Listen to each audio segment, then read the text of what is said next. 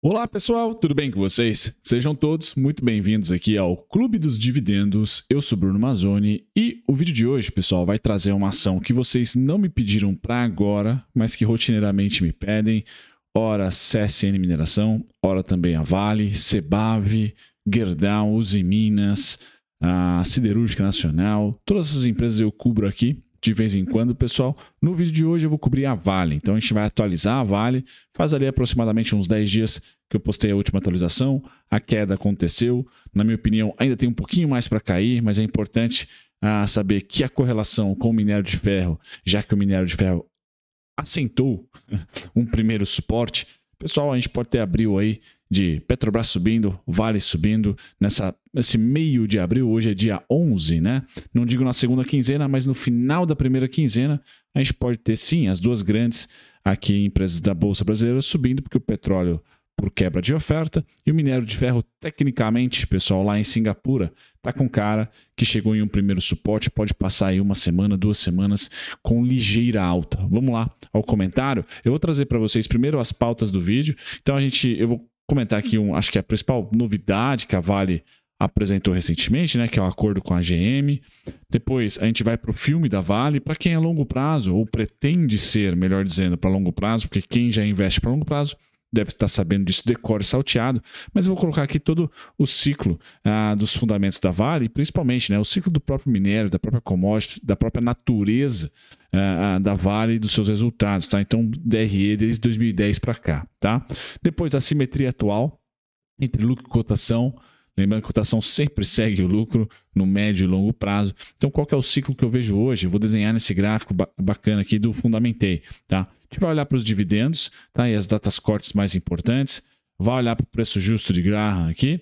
E a gente vai, eu vou trazer para você uma curiosidade. E aí, Petro ou Vale batem o CDI? E se batem, quem ganhou? Tá? Depois, a parte mais importante do vídeo, na minha opinião, acaba sendo o minério de ferro. Então, como é que está o minério de ferro nesse momento? Qual que vai ser a dança uh, dos preços por lá em Singapura. E aí eu vou colocar para vocês o preço da Vale, pessoal, e também do DXY.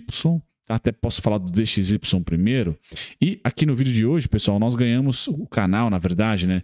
Ganhou um novo inscrito né, um novo parceiro que é a própria Orama. Então vocês vão ver no meu gráfico aqui de preços, tá?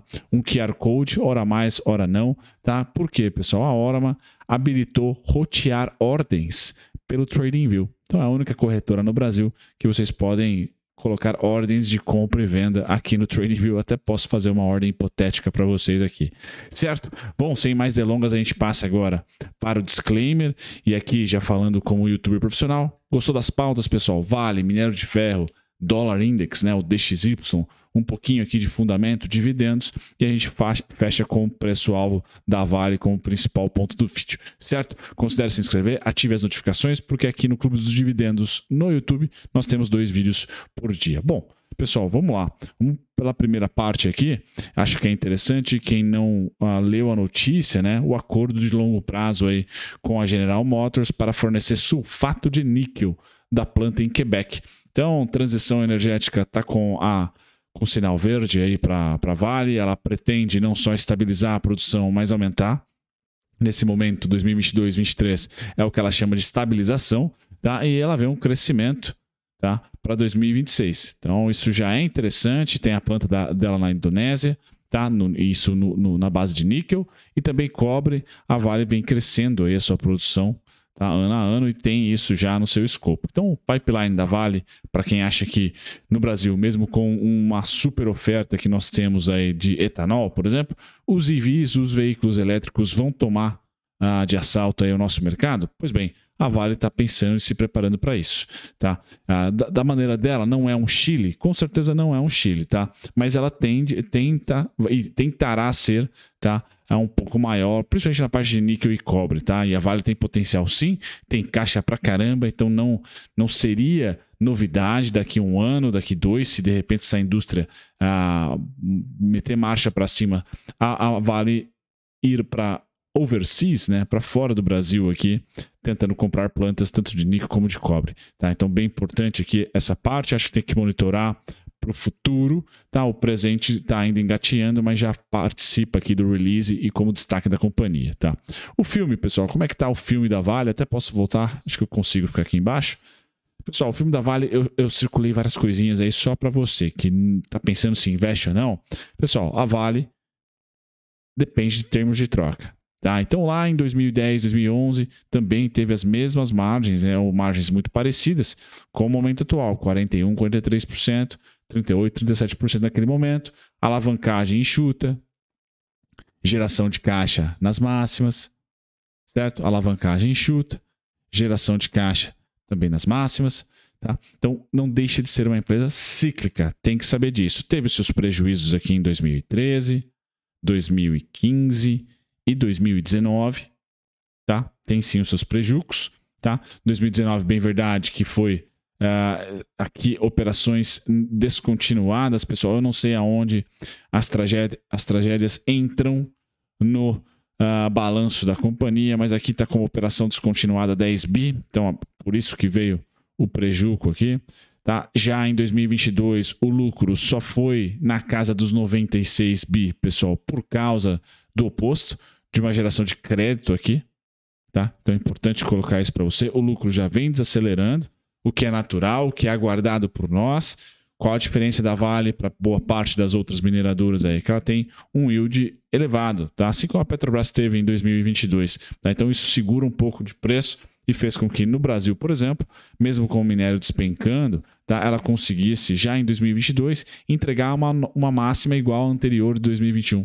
Então, o minério de ferro, eu vou trazer essa comparação para vocês, acho importante, tá? O minério de ferro achou máxima em 2021, pessoal, e de acordo com a máxima de 2021 até o momento atual de fechamento, é uma queda de 48%. Então, mesmo no atual momento, são 114 dólares de queda, quase 50% em relação à máxima histórica do minério de ferro em, em maio de 2021. Tá? Maio de 2021, aí nós retestamos aqui em agosto. Então, esse é agosto de 2021, aqui é maio de 2021. Legal? Ali foi a máxima, e de acordo com a máxima, o minério de ferro despencou 50%. Tá? Nesse momento, está negociado aqui a 119,60. Tá? Representando 48,88%, 114 dólares aí de queda. Bacana. Essa queda, pessoal, quando a gente transporta aqui para o preço da Vale, tá? a gente vai perceber que a Vale em 2021, sem dúvida nenhuma, achou seu topo também em julho. Tá? Estamos falando aqui entre uh, julho e agosto. Bacana. Só que já em 2022, testou de novo mesmo o minério de ferro nem de perto está próximo das máximas. E digo mais, em 2023 testou de novo. Tá? Até chegou a romper alguns centavos aqui. Então, pessoal, as ações têm recompra de ações, dividendos, às vezes por alocação de fundos passivos. Então a Vale está no IBOV, está no IDIV, está em um monte de fundo passivo, tá? ETF passivo que compra a Vale também de maneira passiva. Então assim, esse é um bichinho aqui que não necessariamente e não mesmo vai seguir o minério de ferro nas quedas, mas nas altas segue, tá? Então é uma simetria positiva em relação ao minério de ferro, vamos dizer assim. Eu acho muito mais valoroso para longo prazo você aportar numa mineradora, tá? Do que na commodity, tá? Isso vale para ouro, petróleo, para tudo, porque você tem os dividendos, tá? E tem essa, esse tipo de dinâmica, onde quando o, o, minério cai, por exemplo, a Vale manda bala em dividendos exuberantes e, de repente, o, o mundo quer comprar Brasil ou emergente, a Vale entra nesse basket, nessa cesta, porque está nos ETFs, está no EWZ. O EWZ é 70% Vale. Praticamente está comprando Vale ao comprar EWZ. Então aqui, pessoal, acho bacana, tá? Ah, esse tipo de analogia porque eu acho que vai segmentar melhor, pelo menos é a minha opinião, não é verdade, né? A, a sua dúvida entre pô, commodities ou uh, empresas que produzem, né? Acho que empresas que produzem vai gerar mais valor para vocês por causa dessa renda passiva, por causa da posição em ETFs passivos também. Renda passiva sendo dividendos, tá? recompra de ação, bonificação e etc. Bom, aqui eu coloquei para vocês então os principais destaques, pessoal, uh, para trazer lucro cedendo, preço ainda não, dividendos seguram, mas de repente a gente pode ter no segundo trimestre, no quarto, no terceiro trimestre de 2023, pessoal, os preços do minério lateralizando e de repente a Vale fechando um pouco a porta para dividendos. Tá? É natural a empresa começar a olhar para o ciclo de crescimento global e falar, poxa, agora não é mais investimentos e talvez não seja mais dividendos, como foi 2021, mesmo com o minério caindo, como foi 2022, mesmo com o minério não, não caindo também, a gente pode dizer, né? 2022 o minério também caiu, tá? Então, assim, ela já, já está há dois anos mantendo um patamar de provento elevado, apesar de, vocês já podem ver que 2022 tá, foi metade do provento de 2021. E a gente tem para 2023, pessoal, algo muito próximo de 2022, tá? Para dividendos, se o minério de ferro seguir ali algumas precificações que eu vou colocar para vocês, mas eu ainda acho que será até um pouquinho menos, tá?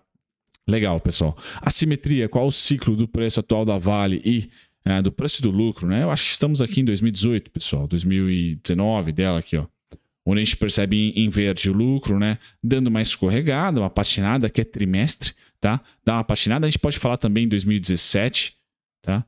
O lucro dá uma patinada trimestre trimestre. Eu acho que a Vale está entrando nesse, nesse uh, vamos dizer assim, nesse cenário, tá? E, e, vocês podem perceber que, por uma ótica contextual lá do momento, né? Tudo subiu em 2016, mas também o, o, lucro da Vale voltou depois de um prejuízo em 2015. Então, o que, que eu acho que vai acontecer? Eu separo, eu tiro essa parte das ações, mas eu mantenho essa parte do lucro e do lucro, tá?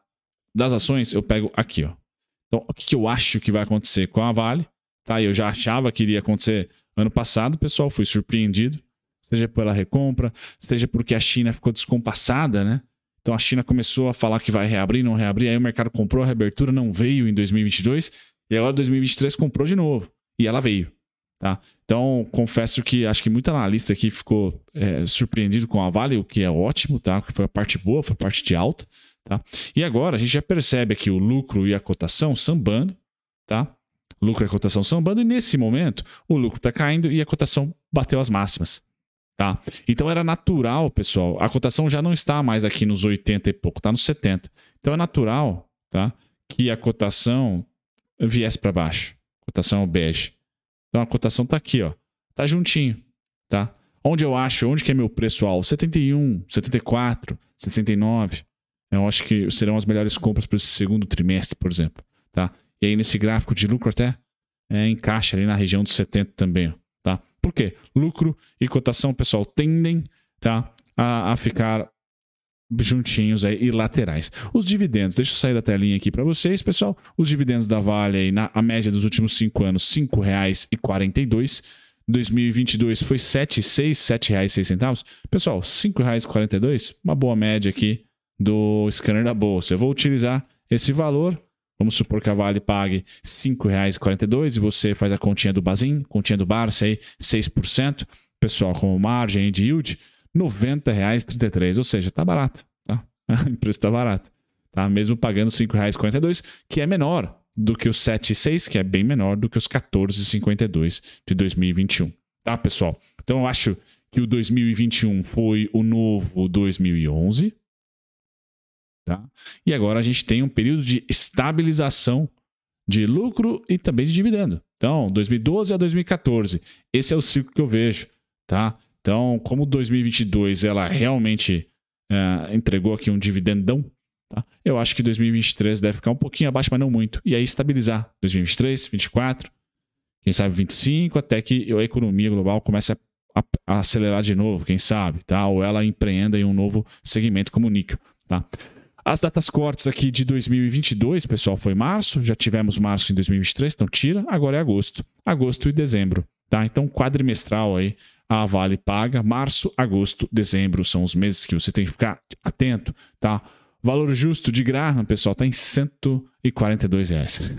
então aqui a gente pula, né? 142 reais no scanner da bolsa, o valor intrínseco aqui pela fórmula de Graham, uma margem de 80% de compra, então não, né? Acho que está muito distante. Quem bateu o CDI, pessoal, de 1995 para cá? Vale ou Petrobras? Vale e Petrobras, só que a Vale muito mais, 30, 38 mil por cento, a Petrobras 10 mil por cento, tá? e o CDI 7 mil por cento. Tá? Então a evolução aí de todos foi bacana, tá? só que da Vale é a vencedora. Minério de ferro, pessoal, para o segundo tri, curto prazo, o que eu acho que vai acontecer, pessoal? Vai namorar essas regiões aqui, ó. 111 mínima, 111,60, 113,40, 113,55. Já bateu no 116, tá? Que era meu primeiro suporte, por isso que eu apaguei. Então já é suporte. O VWAP está aqui, o VWAP da alta, tá? E o VWAP da máxima histórica também. Então, lateral. Também espero para o minério de ferro lateral, lateralidade. Tá? Então é um momento, sim, que você pode ter ali não dividendos. Por isso que a Vale, na minha opinião, se o minério de ferro lateralizar de fato, abril, maio e junho, por exemplo, para maio, junho, a Vale deve cair. E mesmo com o minério estável. Tá? Para o ano, pessoal, eu tenho minério na máxima 139, já bateu. Então, para o ano, agora a probabilidade, a simetria, infelizmente, para o minério é de baixa. É mais a parte aqui dos 94, dos 88, dos 81 e 70. Tá? Não é interesse dos chineses ter minério alto, eles brigam pra caramba com isso e também não estão crescendo o suficiente para manter esse cara tão aquecido assim. Então eu acho que o minério tende a perder os 100 dólares esse ano, tá? No curtíssimo, no segundo tri, não. Segundo tri, estabilidade entre 111 e 128, tá? Por enquanto estamos mais próximos aqui dos 111, 113, tá? é, a simetria está melhor compradora. Onde é o alvo, pessoal? Abril, maio, 128. Tá certo? Bacana, pessoal. Com isso, eu termino dizendo para vocês: olha, desdolarização deixa o DXY quieto. A atividade econômica nos Estados Unidos pós-payroll também deixou ele quieto, então tem que aproveitar. Me parece que abril, pessoal, é um mês sinal verde aí para commodities, porque DXY está quieto, seja aí porque países estão tentando já não é de hoje, mas ainda mais agora, né? Não participar tanto de comércio exterior utilizando a moeda dólar, então menos demanda, mais oferta de dólar. Isso faz com que uh, o dólar fique quietinho e também os dados econômicos norte-americanos começaram a esfriar um pouquinho. Então, isso tudo leva a menos juros do Fed, menos pressão para o dólar. Pum, temos ali um hiato que é abril de dólar fraco, dólar fraco no mundo, DXY. E aí, a Vale, pessoal, termino com ela quais são os principais pontos. E aqui eu passo para a parte do nosso do novo parceiro, que é a Orama, pessoal, clicando aqui, tirando uma foto. E, e tem link na descrição também, tá? Vocês vão ser redirecionados para uma página rápida para abrir conta aqui na Orama. E aí vocês vão ter a opção do TradingView como plataforma para vocês investirem, tá? Então você pode rotear a ordem com dinheiro real ali, tá? Esse é o QR Code, tá na telinha para vocês, tá? E a, a Vale, pessoal, 74.3, 71.45, 71.42, tá? São os principais pontos de suporte. Abriu, como eu falei, que é uma janela alta, tá? A gente pode, ao invés de chegar primeiro no 74, bater nos 81, bater nos 82,56, bater até nos 86,77, não tem o cenário que ela vem aqui para os 92,61, tá? Qual que é meu cenário então no curtíssimo prazo, pessoal? Vida tranquila ou mais verdinha aí para você, até pelo menos os 82,56, tá? É, e para o ano, aí sim, a Vale, ah, inevitavelmente eu tenho esses alvos aqui como muita probabilidade de ser conquistado. Principalmente, pessoal, porque junho, julho, tá? São hiatos sem dividendos. Se o minério não ajudar, muito provavelmente a Vale vai ceder. Tá? Se o minério lateralizar, eu já acho que ela vai ceder. Pessoal, resumo da Vale aqui, os pontos técnicos voltem aí, pausem o vídeo, vejam lá os pontos técnicos. E agora sim, pode deixar um like ou um dislike. Vejam a hora aí para quem, quem gosta do Trading View como análise, né? Eu quase dou um banho aqui no meu microfone. Vejam aí a, a, a Orama como novo parceiro, tá? E considere se inscrever no canal. Um grande abraço, tchau, tchau.